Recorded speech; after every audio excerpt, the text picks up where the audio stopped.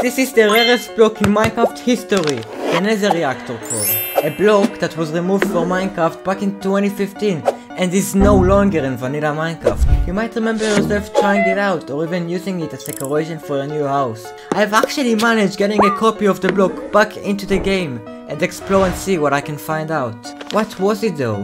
Why was it removed and what was even the purpose of it? Welcome to Minecraft Unsolved Mystery. It all started back in 2011 when Minecraft released a new game version, Minecraft Pocket Edition.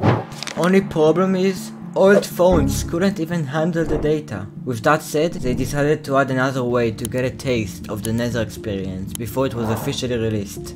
The Nether Reactor Core. You see, whenever placing it down in a specific structure and encasing it with 4 gold blocks and certain cobblestone, you can activate the Nether Spiral when right clicking it. The Nether Spiral was a generated square spiral tower made of netherrack centered on the reactor. When spawned in, there would be multiple zombie pigmen trying to hunt you down, but there would also be a couple of loot chests with items, ranging anywhere from seeds to sugarcane, cactus, mushrooms and even nether quartz.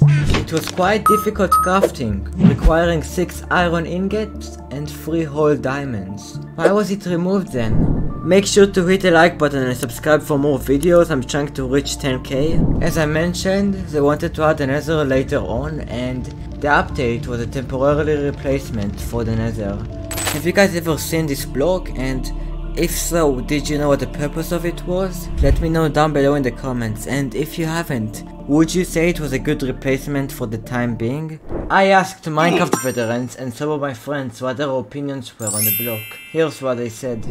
The first time I ever saw a nether reactor was back in the old days of Pocket Edition when I was like 4 or 5. Basically, my cousins and I all joined a world together and used a glitch to duplicate diamonds and gold into making full diamond armor and a sword.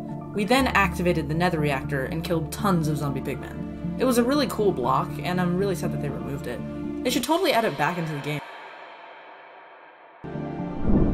The nether reactor core was, I think it was used for like um, stimulating the nether in like a chunk because like most phones and stuff didn't have enough power to actually like run the nether so they can have the whole nether dimension for mobile but as for like building and stuff i feel like the nether reactor core was one of those kind of blocks that you think it's cool to flex but it doesn't actually look that good like a diamond block you know Almost every single person I've asked their opinion on the block said they've used it to build their house.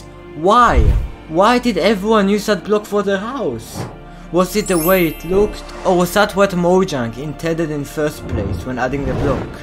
The nether reactor core, uh, I got to see it early, you know, not a lot of people saw it, so that was cool, but yeah, they should have definitely waited, because I feel like it could have been, it's, it's, it's really cool, uh, you know, how it just spawns around you, and I feel like, um, if it would have been released during the phones, uh, the actual, uh, Obsidian nether portal might not have existed, which could have been you know, it would have been an alternate Minecraft, which that, that would have been pretty cool. Nether reactor cores are currently unobtainable except when using mods or add-ons. It's not available through commands or creative, but here comes the interesting part. If you had a pocket edition world that had a nether reactor core placed down in your specific world and was never destroyed, it can actually still exist in the latest version. How cool is that? I'm not really sure what the point of it was, but it seems like a cool idea. Here comes the tricky part. While doing my research and writing up the script and just finishing my video up, there wasn't much information on the block itself, rather there was much more information on how to use it and why it was even removed in the first place. There is literally no information on the design itself and it got me questioning why they decided to use that particular design. I don't know about you guys, but when I first started playing Minecraft, I thought it was a yellow flower with some blue background. Maybe I could use it for a floor to my new house, and I literally had no clue that it was even a nether reactor in first place.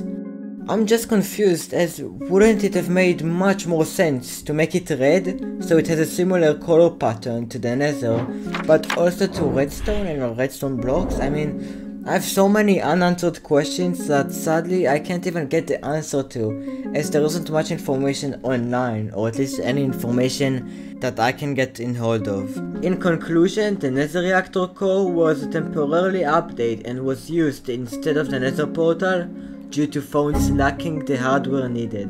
While some people may have used the block for the Nether, others, such as I, use it for decoration. That's where I want to leave the video off. If you are new here, make sure to subscribe and hit the like button. See you this next time.